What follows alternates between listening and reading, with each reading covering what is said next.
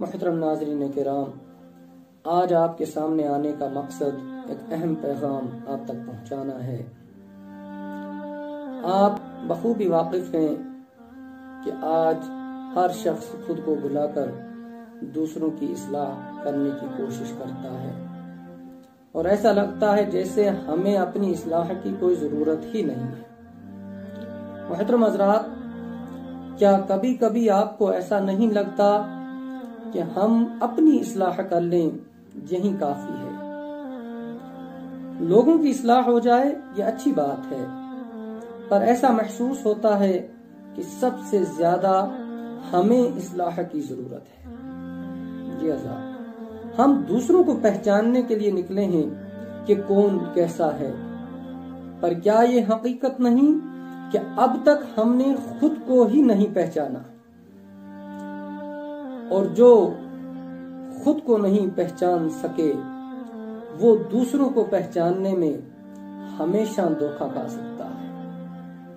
वो इसलिए कि जो ज़ाहिर हो, वो बातिन नहीं होता। हम खूब कहते हैं, पर क्या हम खूब जानते हैं?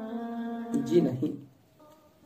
और कहा जाता है कि कहने वाला जानता नहीं। और जानने वाला कहता नहीं। दूसरों पर कोशिश के लिए वक्त सर्फ करना बेहतर है, पर अपने लिए फुर्सत का वक्त तलाश कीजिए।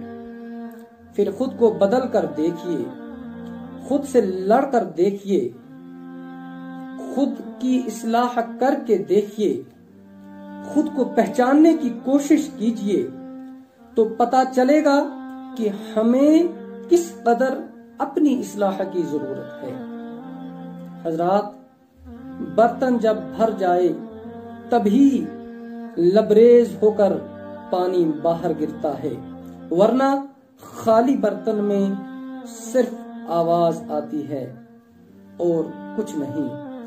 आवाज़ नहीं, हकीकत बनने की कोशिश कीजिए, क्योंकि आवाज़ आती है और गुम हो जाती है। पर हकीकत गुम नहीं होती, हकीकत बाकी रहती है।